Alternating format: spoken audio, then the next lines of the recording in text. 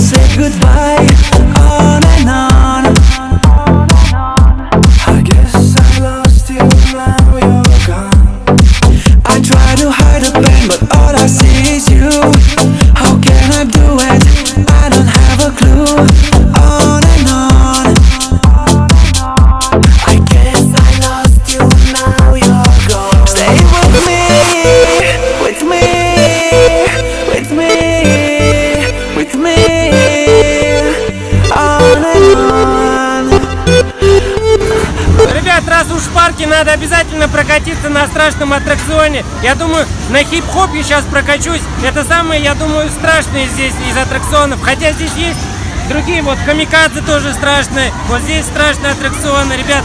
Сейчас посмотрите, какие ощущения будут. Я вам потом расскажу, ребят. Я погнал. Stay with me, with me,